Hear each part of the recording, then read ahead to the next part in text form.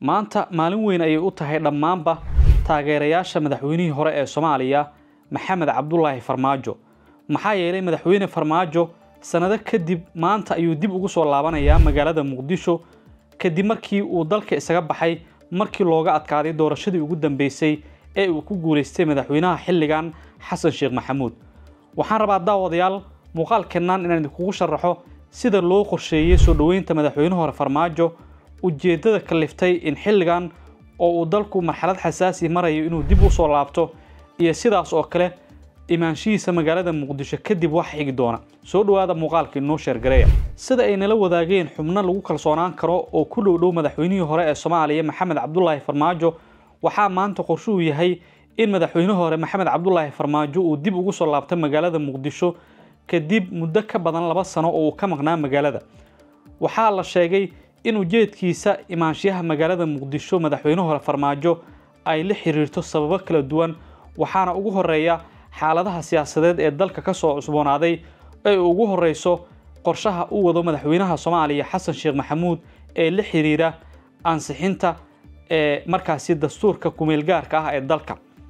Waxaa madaxweyne farmaajo qorshuu yahay in marka uu soo gaaro magaalada muqdisho uu kulamo kala duwan la qaato xildhibaano ka tirsan baarlamaanka federaalka ah ee soomaaliya iyo siyaasiyiinta saameynta leh ee ku sugan magaalada muqdisho. Waxa ugu badan ee laga wada hadli doonana waxay tahay sida markaasi looga arrinsan karo qorshaha uu wado madaxweyne xasan sheekh maxamuud ee la xiriira ansixinta dastuurka federaalka ah ee soomaaliya oo hadda baarlamaanku ay ku holan yihiin. Waxaa la sheegay madaxweyne farmaajo in uu ka qaybgeli doono kulamada ugu soo horreeya ee baarlamaanka federaalka ah ee soomaaliya halkaasina waxa uu ka jeedin doonaa khudbo ku saabsan aragtida isagu ka qabo howshan uu wado madaxweyne xasan sheekh maxamuud oo dabcan xilligan ee aanay isku raacsaneen dhammaanba saamiliyada siyaasadeed ee dalka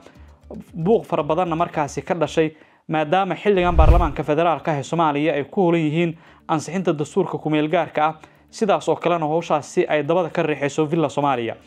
Waxaa madaxweynuhu la sheegay halkaa inuu ka jeedin doono khudbad uu ku caddeynayo aragtidiisa iyo wax isagu u arko in laga yeela arrintan maadaama ay tahay mid masiiri ah oo ay tahay inay ka wada arrinsadaan dhammaanba saamiliyada siyaasadeed ee dalka. Intaasi kadib waxaa xubnaha markaasi ku dhow madaxweyne madaxweynihii hore ee soomaaliya maxamed cabdulaahi farmaajo ay noo sheegeen in uu markaasi u sii socdaali doono magaalada garowe ee xarunta puntland. Halkaasna waxa uu uga qaybgeli doonaa shir la filayo inuu halkaasi ka furmo kaas oo sidaas oo kale ay ka qaybgeli doonaan xubno ka mid a madaxda dowlad goboleedyada dalka uu ugu horeeyo madaxweynaha xilligan ee puntland siciid cabdulaahi dani iyo sidaas oo kale madaxweyne axmed madoobe oo waayihii dambe xiriirkooda markaasi uu aada u xumaa kadib markii ay isku khilaafeen sida la xaqiijiyey doorashadii uu ku soo baxay madaxweyne xasan sheekh maxamuud iyo magacaabista ra'iisul wasaare xamse cabdi barre. Waxaa la sheegay halkaa in madaxweyne farmaajo uu u tegay sida naloo xaqiijiyey in uu ka soo dhiso isbahaysi siyaasadeed oo dabcan culays saari kara dowladda madaxweyne xasan sheekh maxamuud oo xilligan markaasi wajahaysa culaysyo kala duwan oo gudaha dalka iyo sidaas oo kale dibadda ah. Madaxweyne farmaajo waxa uu dalka isaga tegey markii looga guulaystay doorashadii uu ku soo baxay madaxweyne xasan sheekh maxamuud. Waxaan se wada ogeyn inay ka horreysay buuq siyaasadeed muddo taagnaa taas oo kaliftay in magaalada muqdisho ay ka soo ifbaxaan isbahaysiyo markaasi ka soo horjeeday habmaamulkiisii xilligaas ee ku aadanaa doorashooyinkii la filayay inay dhacaan waxaana xilligaasi wada xasuusanaa in magaalada muqdisho markaasi ay gashay mid ka mid a xaaladihii ugu darnaa ee amni kadib markii ay markaasi furmaha dagaalka isaga soo baxeen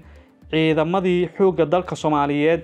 oo iyagu sheegay in ay ka hortegayaan hanaanka aan sharciga ahayn ee xilligaa uu wax ku maamulayay madaxweyne farmaajo. Imaanshihiisana waxay ku soo aadaysaa iyadoo xilligan amniga magaalada muqdisho aada u wanaagsan yahay oo aanay ka jirin qaraxyadii ay gasan jireen al-shabaab sidaas oo kalena aan markaasi la isugu jirin aagag dagaal iyadoo xilligiisii aan wada ogeyn in madaxtooyada soomaaliya nawaaxigeeda ay xirteen ciidamo markaasi u hubaysan habbeeleed